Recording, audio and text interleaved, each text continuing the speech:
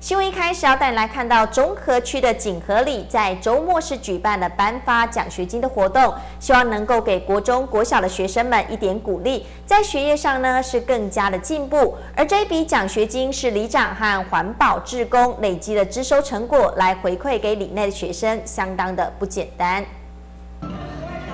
小朋友开心的接下奖学金和奖状。这里是中和区锦和里的奖学金颁奖典礼，里长林敬明举办三届以来，人数越来越多。今年成长就比往年人数多了三分之一。鼓励小朋友们用功读书的奖学金来源，都是里上环保资源回收点点滴滴所换来的爱心。区长陈锡辉很钦佩这些锦和里有爱的志工，更希望这样的典范能够推广到其他里上。从这个环保生态上面做这些回收金的部分，来提供我们这些学童，让他们能奋发向上、努力向学这样子。那这个是非常不简单一件事情，因为每一分钱当中都是我们的环保志工他们要累积起来的，而且这些钱他们并没有把它这个用在说这个可能去旅游欢乐当中，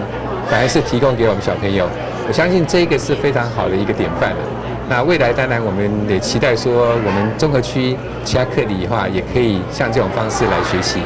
同时，新视播有线电视回馈邻里，也尽绵薄之力。里长林敬明相当感谢。从第一届到第二届到今年第三届，我们颁发的奖励金呢，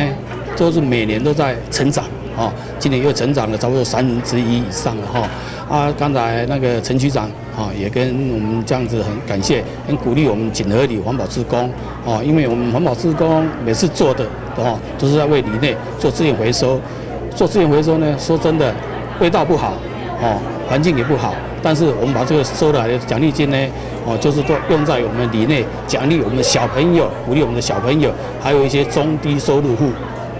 这次也很感谢我们新世波有限公司公司呢，又来帮忙我们奖励拨一些赞助奖励金，然后我们这次也非常的感谢。锦和里资源回收在每个月第一周以及第三周整理，因为回收量多，工作量也因此相当大。七十多名资收队职工努力整理，也才有今天奖学金的颁奖典礼。每个月的第一周跟第三周，我们又做这个资源回收，啊，比较辛苦的就是说，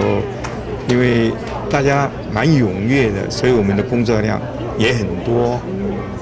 一天要弄好几车出去，所以我们动员了，我们就动员我们的职工，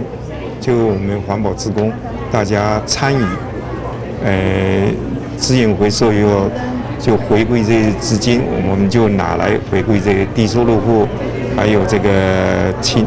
那个那个成绩。优良的学子，每位家长都兴奋地为小朋友们记录下这珍贵的一刻。奖学金钱多钱少不是重点，而是孩子们接收到这份荣耀，而更愿意努力上学，才是锦和里志工们最大的愿望。中嘉新北新闻综合采访报道。